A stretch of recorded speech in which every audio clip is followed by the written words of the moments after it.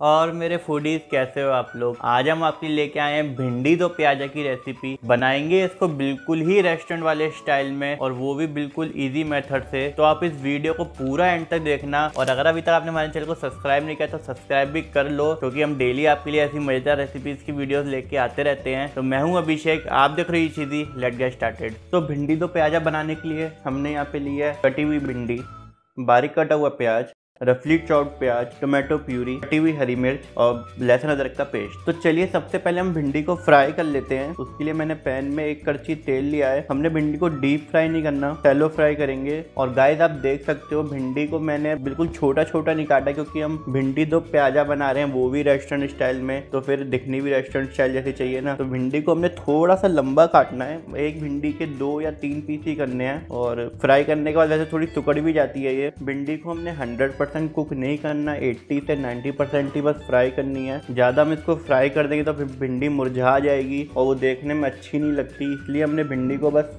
80 to 90 percent ही fry करना है, जिससे कि भिंडी का कच्चापन निकल जाए। तो चलिए हम भिंडी को फटाफट से फ्राई कर लेते हैं।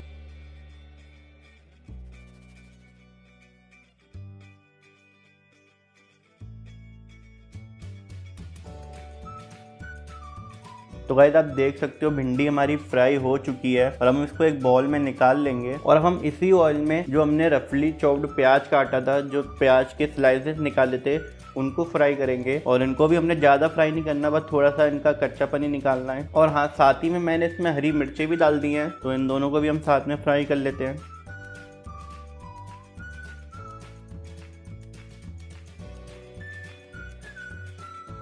तो देखिए आप, हमारा प्याज भी फ्राई हो चुका है। अब इसको भी हम भिंडी के साथ ही निकाल लेंगे। तो गाइस भिंडी और प्याज हमारे फ्राई हो चुके हैं। तो चलिए फटाफट से अब भिंडी तो प्याजा बनाते हैं। तो उसके लिए मैंने यहाँ पे करीब एक करछी ऑयल लिया है और इसमें हम डालेंगे एक चम्मच जीरा, चुटकी भर अजवाइन।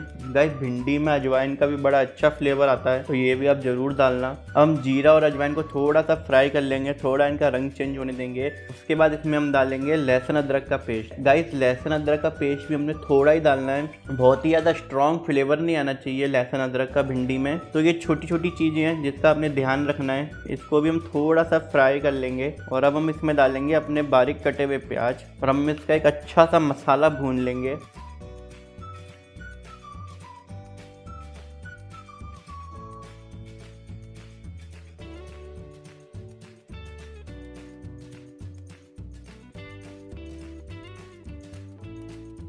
तो गाइस प्याज हमारा भून चुका है। आप देख सकते हो, बिल्कुल लाइट गोल्डन ब्राउन कलर इसमें आ गया है। हमने बस इसे इतना ही भूनना है, बहुत ज़्यादा जलाना नहीं है, एकदम डार्क नहीं करना। तो हम इसमें डालेंगे अपनी टमाटो प्यूरी ये करीब एक कटोरी टमाटर की प्यूरी है और टमाटर डाल दिए हैं तो हम साथ ही साथ इसमें अपने मसाले भी डाल देंगे। सबसे पहले हमने डाला है स्वादानुसार नमक, आधा चम्मच धनिया पाउडर, आधा चम्मच लाल मिर्च, चुटकी भर हल्दी, एक चौथाई गरम मसाला और अब हम अपना मसाला अच्छे से भून लेंगे सारे मसाले पका लेंगे।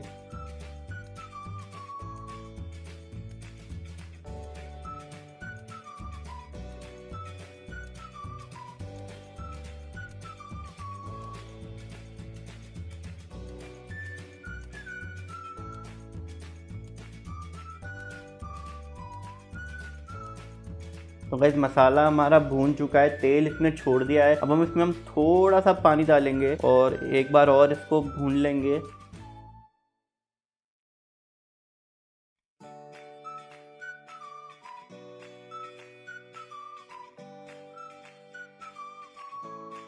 तो आज देखिए, मसाला हमारा प्रॉपरली भून चुका है, तेल इसने सारा छोड़ दिया है, टमाटर भी हमारा अच्छे से पक गया है। बस इस पॉइंट पे आके हम इसमें अपनी भिंडी और प्याज जो हमने फ्राई कर लिए थे, वो डालेंगे और अच्छे से मिक्स कर देंगे।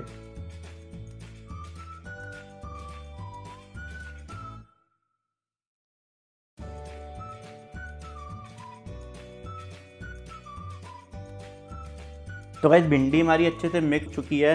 बस हमें अब करना क्या है, इसको पाँच मिनट के लिए ढक देना है, ताकि जो थोड़ा सा भिंडी में कच्चापन और जो मसाले हैं वो सारे अच्छे से मिल जाएँ, अच्छे से मैशअप हो जाएँ। तो पाँच मिनट के लिए हम इसको ढक देंगे।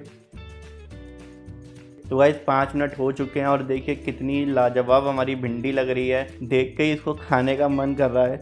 अब भिंडी हमारी पक भी चुकी है अच्छे से। तो चलिए अब एक बार इसको चेक कर लेते हैं। तो जी हाँ भिंडी भी हमारी अच्छे से गल गई है। तो दोस्तों फाइनली हमारी भिंडी दो प्याजा बनकर तैयार है। अब इसकी हम प्लेटिंग कर लेंगे। तो गाइस आई होप आपको ये भिंडी दो प्याजा की रेसिपी पसंद आई होगी। हमने बिल्कुल ही सिंपल और रेस्टोरेंट स्टाइल में बनाई है। आप इजीली इसको घर पे बना सकते हो और टेस्ट बिल्कुल रेस्टोरेंट वाला। अगर आपको रेसिपी अच्छी लगी हो तो वीडियो को लाइक और शेयर ज़रूर करना। और अगर अभी तक आपने मेरे चैनल को सब्सक्राइब नहीं किया तो सब्सक्राइब भी कर लेना, क्योंकि हम डेली ऐसी मज़ेदार रेसिपीज़ की वीडियोज़ लेके आते रहते हैं। तो मिलते हैं आपसे कल सुबह नौ बजे एक और रेसिपी के साथ।